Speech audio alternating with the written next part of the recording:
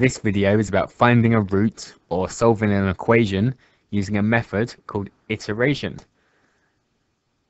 Iteration is a repetitive method where you get an answer, you put that back in, you get another answer, put that back in, you get another answer, put that back in, and you get increasingly closer to the actual root by following the method.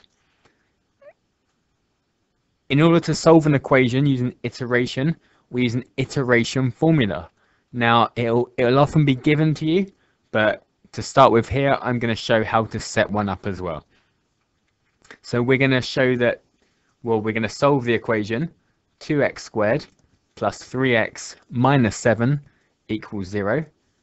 And to set up an iteration formula, we're going to rearrange that into the form so it is x equals. So in this case, we're going to go to x equals 7 over 2x plus 3. So we're going to rearrange this now. So the first step would be to add 7 to both sides.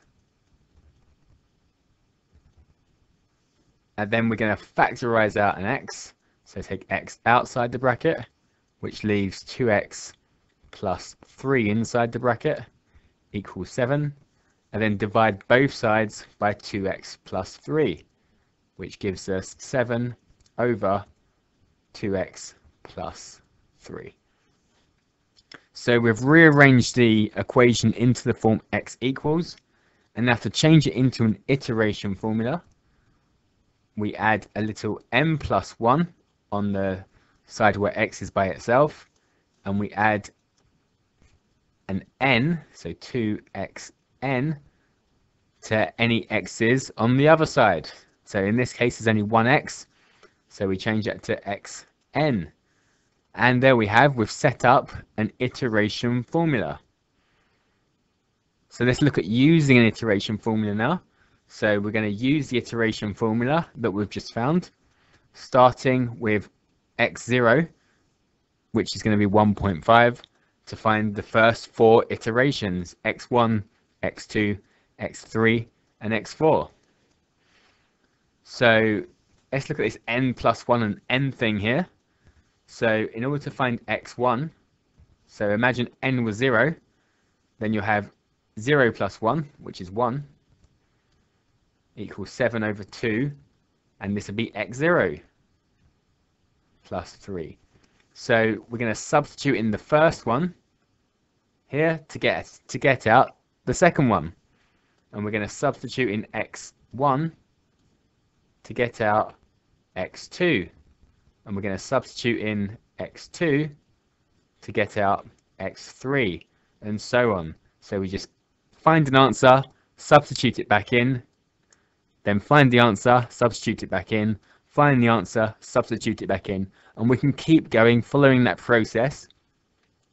And each iteration each answer will be closer and closer to the actual root as long as the formula works. So let's do this now. So we're going to start with 1.5. So x1 is going to be 7 over 2 1.5s plus 3. So we can just type that into the calculator. and to three significant figures we should get out 1.17. Now we could substitute that back in, but in order to get a more accurate answer and to make it easier, we can just in our calculator write answer, an ANS button, which you should be able to find on your calculator next to the equal sign. So 7 over 2 times the answer plus 3 and just type that into the calculator. And you get out x2 so 1.31 to three significant figures. And then because we've already got answer written in the calculator we can just click equals again. And that gives us 1.24 to three significant figures. And we could just click equals again.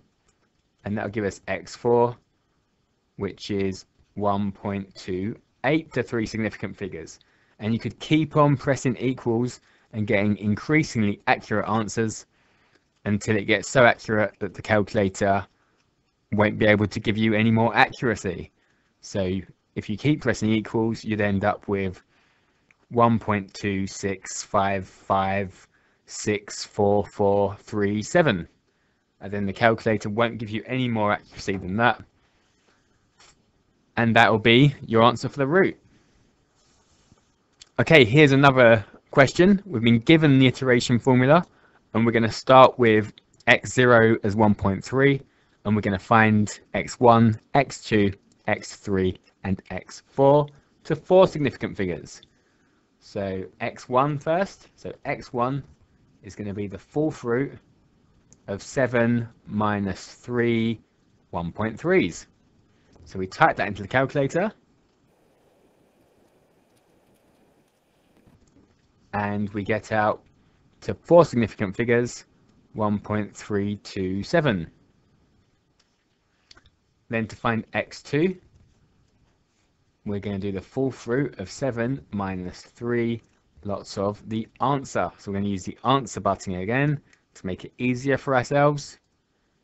And to four significant figures, 1.318.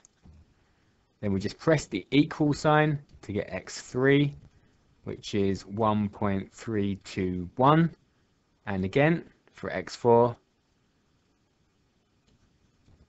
which is 1.320.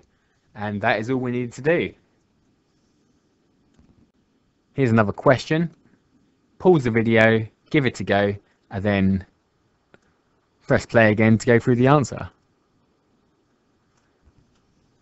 Okay, so x1 is going to be the square root of 0.5 plus 2 over 2 0.5s plus 5. So we've got two x's this time.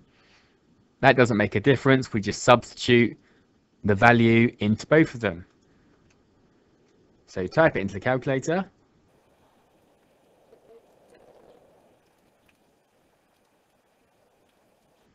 So we get 0 0.645 to three decimal places. And then for x2, change it to answer. So type answer into the calculator where you have x.